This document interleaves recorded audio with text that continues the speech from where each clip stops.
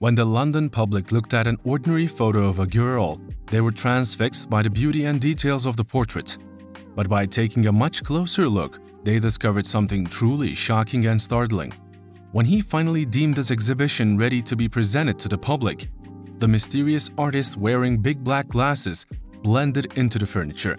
He didn't want to be seen by the visitors, even though he was fairly certain that nobody was going to recognize him as the man behind the artworks on the walls. What he wanted was a front row seat to their reactions, a possibility to admire their bewildered expressions upon learning the shocking truth behind his works. As visitors entered the gallery, they were greeted by the buzz of excitement and anticipation that filled the air. The gallery's walls were adorned with a mesmerizing array of soulful images, each more captivating than the last. The spotlight was on the portrait of the young girl that had garnered a level of intrigue unparalleled by the other artworks. She was just a plain ordinary girl, but that's what had grasped the attention of so many people around the world. Patrons stood before the photograph, their gazes carefully tracing every delicate contour and nuance. The level of intricacy was spellbinding. It was as if the photographer had somehow frozen a moment in time, encapsulating the very essence of the girl's being. It was not just a photograph to the observers. It was a window into another world, a realm brimming with untold stories and emotions. The fine details of the photograph astounded them. Each individual strand of hair seemed to dance in harmony with the ethereal lighting, cascading down in waves that whispered secrets of youth and innocence. Tiny rivulets of light gently caressed her face, illuminating her radiant complexion with a warm glow. The exquisite texture of her skin was almost palpable, revealing the intimate intricacies and imperfections that made her uniquely beautiful. People eagerly engaged in animated conversations, marveling at the photographer's ability to capture so much personality within a single frame. The discussion among viewers was passionate and diverse, as they eagerly shared their interpretations and assumptions. They passionately debated over the girl's origins, speculating about her name, her background, and the incredible life that had brought her to this point in time. All the while, the artist remained hidden behind the column, eagerly eavesdropping on their conversations. He loved hearing their versions of the truth and couldn't choose the one he liked more. A little boy and his father stared at the photo, their eyes wide with amazement at how there could be so much beauty in such an ordinary thing. The boy then asked his father why the girl looked that way and what the slight little smile was about. The duo came up with the story that she was the daughter of a sailor who had gone away to sea for many years, and that she had just caught sight of her father's ship on the horizon, returning home to her. That is why she was smiling. Another couple speculated that she was looking at her lover, at a child, or perhaps at the house she was sharing with her beloved family. Her serene expression seemed to suggest that she was gazing at someone or something she loved, or at the very least, something that made her happy. The artist simply smiled. He was glad that his work sparked positive emotions in the visitors. Of course, she knew exactly what the girl had been looking at that day. Neither the father and son duo or the couple had guessed the right answer, but at the same time, those weren't the wrong answers either. After all, he firmly believed that there are no right interpretations in art. The girl's portrait became the centerpiece of the exhibition, drawing crowds from far and wide who were captivated by the depth captured within her expressive features. And there were many other similar photographs of unassuming people, all of whom had a story to tell and secrets behind those highly detailed eyes and smiles. But as the gallery's doors swung open each morning, inviting a steady stream of art enthusiasts, the portrait of the girl remained an enigma wrapped in beauty. The little boy had looked at the photo and seen some of himself in the girl. She was brave and adventurous like him, and she had a playful side. He could tell that she would be the kind of girl he would love to hang out with, and he enjoyed the time spent studying each and every detail that the photo had to offer.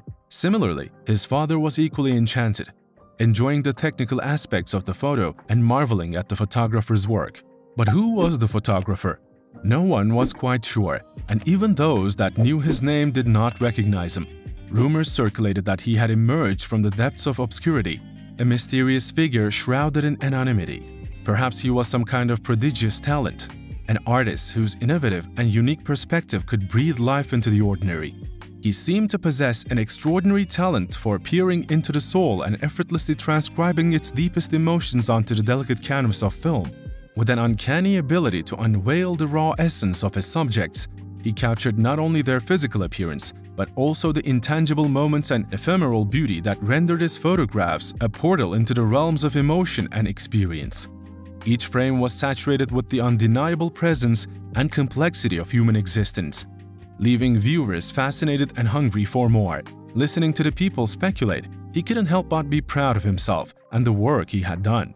The little boy and his father finally turned from the photo of the girl and the boy was clearly inspired, telling his father that he too wanted a camera to take photos like the one they had just been marveling at.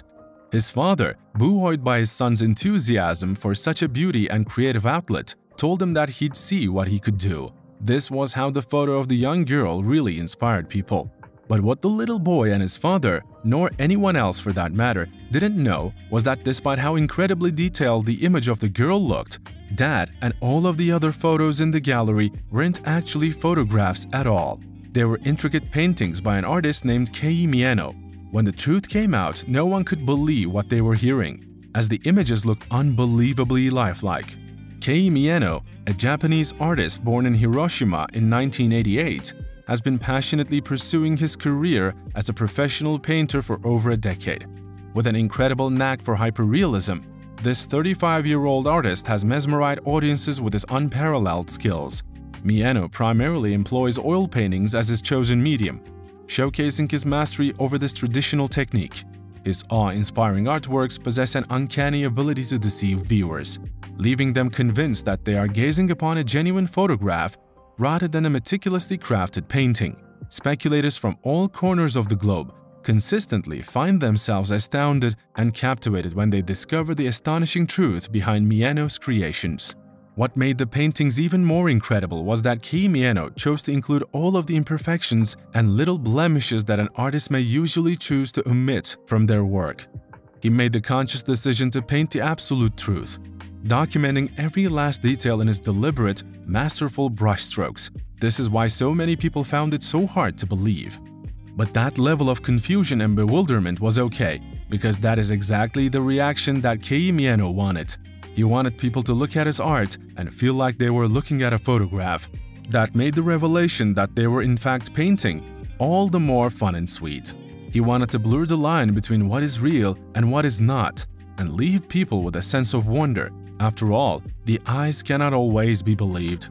At the end of the day, Mieno left the gallery feeling deeply satisfied and humbled by both the turnout of visitors and their reactions to his paintings.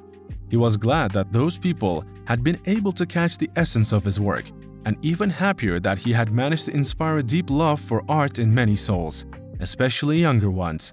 He firmly believed that anyone could be an artist, and he couldn't wait to see where those little art lovers would be in 10 or 20 years' time. So now it's over to you. What did you think of this incredible story? Have you ever heard of Kei Mieno or seen any of his art in real life? Were you convinced that the hyperreal paintings were actually photos? As always, we love to hear from you, so be sure to leave your thoughts and opinions in the comment section down below.